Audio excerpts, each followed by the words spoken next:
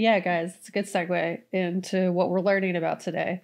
Um, which, as the title of the film states, Blood Quantum, it represents something. And I'm going to be real honest of my own ignorance regarding the significance of the title and my ignorance around the historical context behind it. I hope after hearing some of this stuff, even after watching the film, I think that's what the film really did is it like encouraged us to ask questions and be like, what is this? Mm-hmm. Let's learn some stuff. And uh, I, I, that's what the director said. Like he wanted people to get from it. So yeah. I read some articles, as we do here, and as we often often say, I'm not a scientist. I'm not an expert.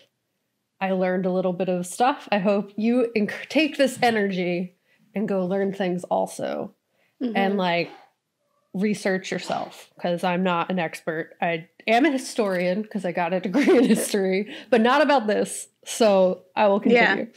Uh, I read an article from NPR. It's called "So What Exactly Is Blood Quantum?" and I'm like, "Thanks, NPR. I was also wondering." Um, in the article, they give some background on blood quantum, defining it as the like amount of Indian blood or native blood that an individual possesses.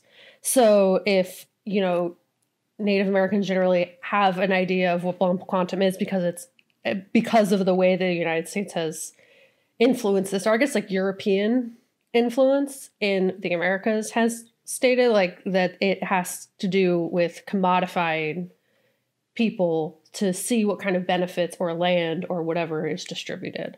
So, blood quantum being a way that the United States Department of the Interior calculates percentage of native blood of a person and what that allows in terms of citizenship, rights, benefits, and like recognition from native tribes.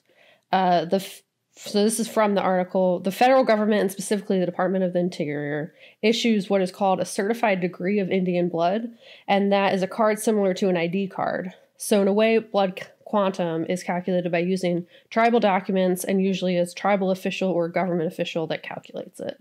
So it's to my knowledge one of the only races that requires an ID card in the United States. Mm-hmm. Um, and it was originally passed uh, to basically limit their citizenship. So it was put on to native tribes as a way to like eventually have them not exist anymore so that they wouldn't have to honor treaty um, mm. delegations. Um, so essentially, it's like the government's real effed up way of trying to like eliminate native people or have them assimilate into like white culture. Yeah, like they can't you know, interracial marry because then their blood is is diminished. It's mm-hmm. less it's less what they need. yeah. yeah. that's real effed up. Which is yeah, this film. so Yeah. yeah. There, and there's another article I pulled from that was uh I believe written by a tribe. It says, uh, "What is blood quantum, and what does it mean for the future of the Oneida?" Um, and it says basically that if you are full blooded Oneida, if they marry someone who's considered like half blooded, like so 50%, their children will only be three fourths. And uh, as Lakota Elder Gilbert Walking Bull said, when the Native nations adopt blood quantum, we can never restore the rock. We can mm-hmm. only pile stones upon one another. Um, mm-hmm. And it basically, like, there's no, once you're die like I don't have the right word. Once you like have a person who's considered full with half, like it only goes down. You can't like yeah. rebuild the rock essentially. Mm-hmm. Um so yeah, it was used keep, like diminishing. Like it'll keep mm-hmm. yeah. Diluting. That's word. Diluting, yes, thank you. so yeah, it was it was used purely as a way to make it so that the United States did not have to acknowledge and like finish through like out treaty obligations. So if a like a certain percentage of people, I believe for Navajo it was 25% you had to be. Otherwise, like anything less than that, you were not able to be a citizen of your tribe. So sometimes that would like separate families. So like people who had kids, they might be a part of the tribe and a citizen of the tribe, but then their kids could not because of if their like blood was essentially, as you said, diluted. Um, and this is like something that's like really putting a toll on Native communities because they're essentially losing numbers of people. And the goal is essentially from the United States so they don't have to give them land, they don't have to give them like benefits through the treaties that were promised. Um, and something it's similar to if you're not familiar with blood quantum, which I wasn't. Uh, I had heard of the one drop rule um, because mm-hmm. they actually did teach about that in school. Um, but yeah, the one drop that. rule measured the amount of black blood and black people had in society, and that ensured that every person who had at least one drop would be considered black and would be covered under these discriminatory laws, and in even earlier days enslaved. So. Mm-hmm. I also read that it kind of tied back to England and how they divvied up property. Um, so, like, if you had a relative who died and you had like family who essentially a full blooded son or whatever would be the one to inherit the house. So if they like had family that was further out, or if you think like how they designated kings and stuff like that, mm-hmm. um, like how it was always bloodlines, uh, it kind of, yeah. from what I've read, it seems like it stemmed from that. Um, but the biggest thing is it's something that's like decimating native communities and like really messes with people's identity. I believe the director even had some interaction with this and that like I believe he said his kids weren't able to be in like considered a part of his tribe because of that. I might be wrong, yeah. but I think no, that's did. what I read. Yeah. So, you know, it's it's messed up.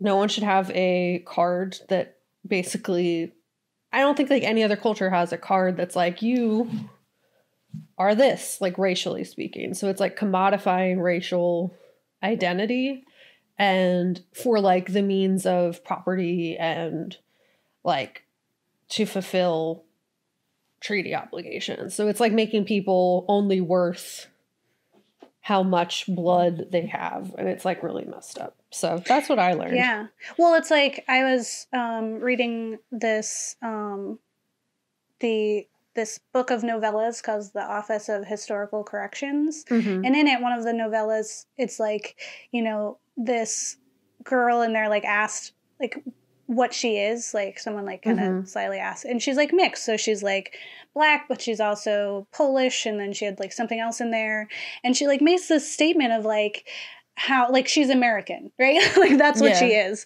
and and it's like that she the american can't come first yet the combination of what she is like in her like different cultures could only have been possible by being an American. Like in America, you know, the quote unquote melting pot, which is like that's not yeah. true. It's not a melting pot. It's like a stew.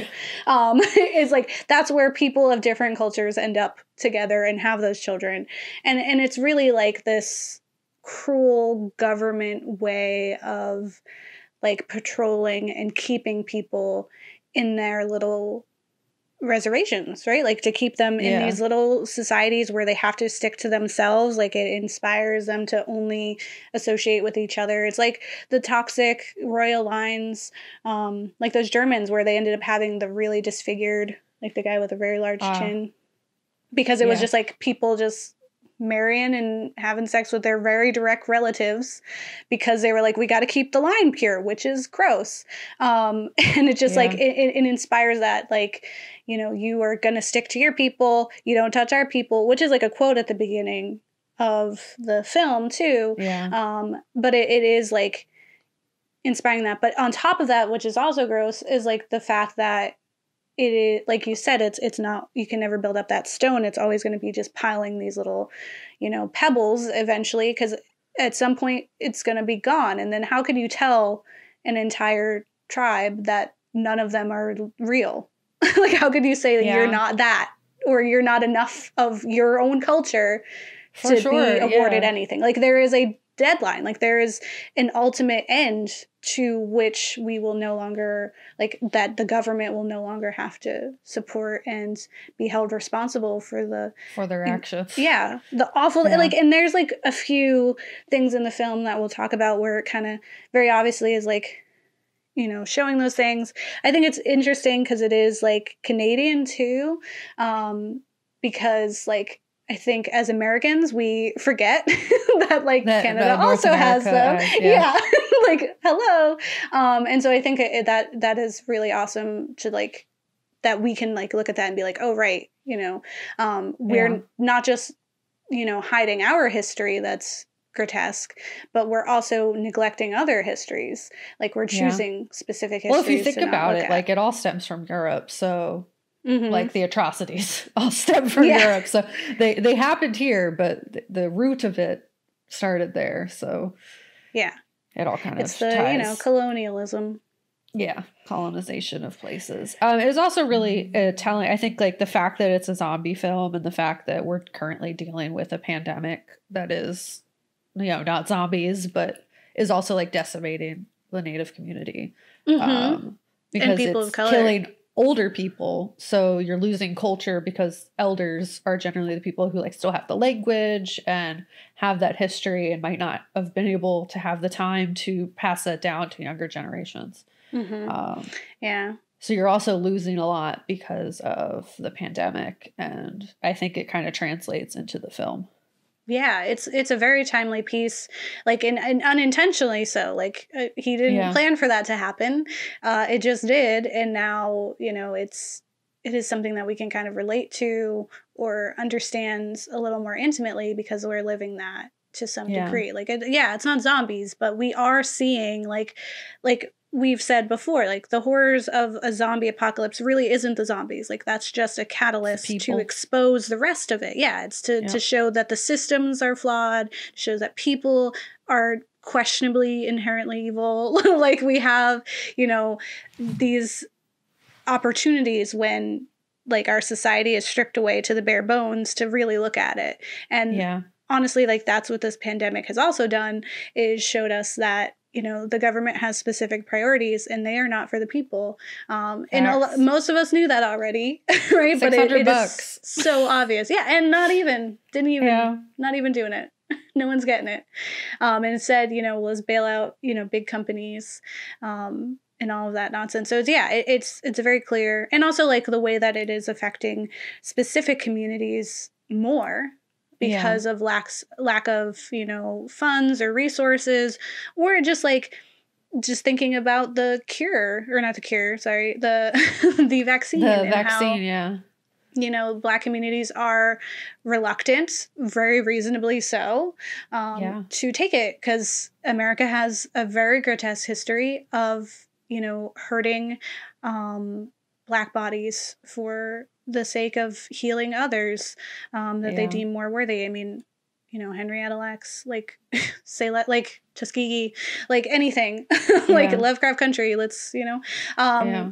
it's it's reasonable that there's hesitancy there and also like the health system has not you know cared for you know black people and people of color for a long time yeah. um and often discredit their pains um which is like you know another part of this too is like if you know in the film that we'll see like what the big twist is which is really quite interesting um without that twist i don't think that they would have no one would, would be going there. No one would be going to that reservation for help. Yeah, they would have left it to burn. Yeah. yeah so that's our little facts corner. You're welcome. We did it. We did little did dive it. in. We're we're Woo. we we're kind of tiptoeing in. Yeah like uh, slowly getting back in. Again we're not experts in anything. We just we're like quick experts but we love to learn and that's what films like this inspire. So if you Yeah. are very interested in this and you think that's like whoa i didn't know that that's really what the way that we felt when we were writing up this stuff and we found like articles. Just continue to look and know that in our show notes we include um, the links to Sources, the to the articles. So um, read up and we definitely encourage that